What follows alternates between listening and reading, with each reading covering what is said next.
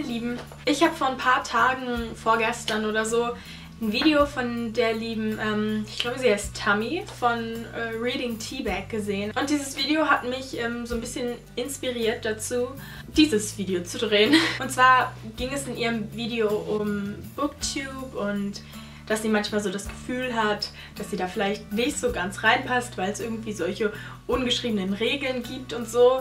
Und deswegen dachte ich, ja, ich wollte mit euch auch mal so ein bisschen über Booktube reden. Ich habe das Gefühl, dass Booktube in den letzten zwei, anderthalb Jahren einfach wahnsinnig gewachsen ist. Ich mache jetzt meinen Kanal hier schon seit drei Jahren. Also ich gucke seit drei Jahren Buchvideos und ich habe so das Gefühl, als ich angefangen habe, da gab es vielleicht so höchstens 30, 40 Booktuber und irgendwie kannte sich wirklich jeder jeden und wenn es einen neuen gab, dann hat er erstmal bei allen so die Runde gemacht und alle haben ihn halt kennengelernt und so.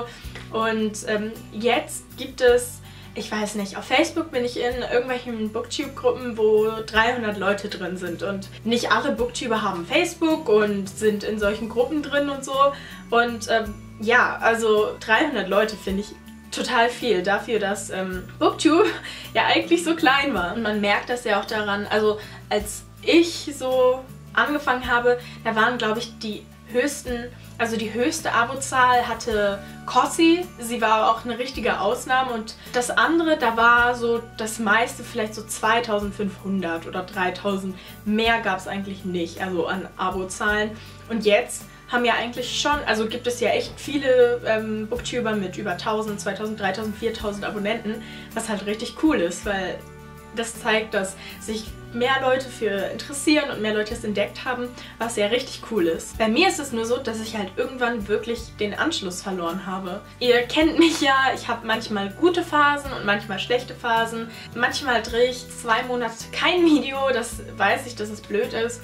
Manchmal zu anderen Themen und vor zwei Jahren hatte ich mal eine Phase, da habe ich irgendwie zwei Wochen lang jeden Tag ein Video gemacht. Also es ist halt einfach immer irgendwie unterschiedlich bei mir. Irgendwann habe ich halt aber so aufgehört, so bei Leuten zu kommentieren.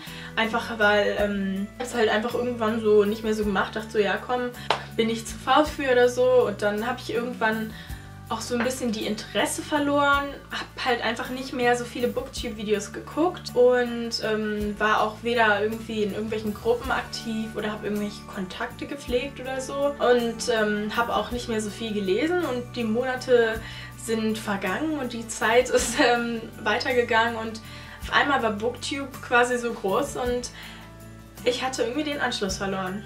Es ist jetzt nicht so, dass ich niemanden kenne, aber ich habe halt so das Gefühl, dass ähm, ich einfach viele der neuen Booktuber gar nicht so wirklich kenne. Und viele Booktuber, ob sie jetzt ähm, neu sind oder alt, kennen mich auch nicht. Also oder haben mich halt nicht auf dem Schirm oder so. Und jetzt war ich letzte Woche auf der Buchmesse und ich habe halt eigentlich gemerkt, wie schade das einfach ist. Ich bin dort halt hingekommen und ich kenne auch viele und ich kenne halt viele vom, vom Sehen und ähm, vom Namen auf jeden Fall. Also manche Leute habe ich zum Beispiel gar nicht erkannt, aber dann hat mir jemand den Namen gesagt und dann hat es halt geklingelt, weil ich das schon mal irgendwo gehört habe oder gelesen oder so.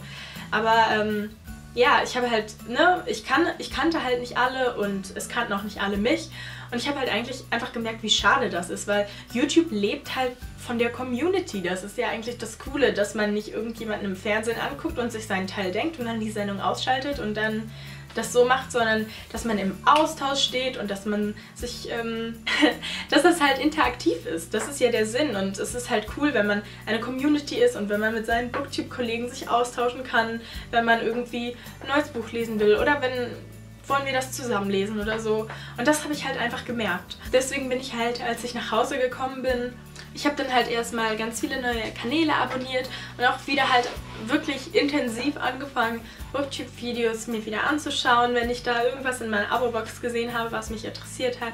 Ich habe auch jetzt mal wieder kommentiert, Leute. Was ich euch sagen will, weiß ich nicht so wirklich. Vielleicht geht es ja jemandem von euch auch so, sei es jetzt, ihr seid äh, auch Booktuber oder halt einfach nur als Zuschauer, dass ihr halt irgendwie vielleicht so ein bisschen so ein bisschen die Lust habt, verloren habt, irgendwie zu kommentieren oder so, weil ihr denkt so, ja toll, ich habe keine Antwort bekommen oder sowas. Aber ich glaube, jeder freut sich über einen schönen Kommentar, wenn der was zum Video sagt. Und um jetzt nochmal zu dem zu kommen, was ähm, Reading Teabag da gesagt hat. Von wegen, dass es diese ungeschriebenen Booktube-Regeln gibt und so. Ich habe halt einfach auch irgendwie das Gefühl, dass ich nicht so wirklich reinpasse. Ich lese halt nun mal irgendwie keine 10 Bücher im Monat und ich habe auch keinen 200 Bücher so und ich kaufe auch nicht jeden Monat irgendwelche Riesenbestellungen an Neuzugänge. Es ist halt so. Nichtsdestotrotz mache ich halt gerne Videos drüber und so.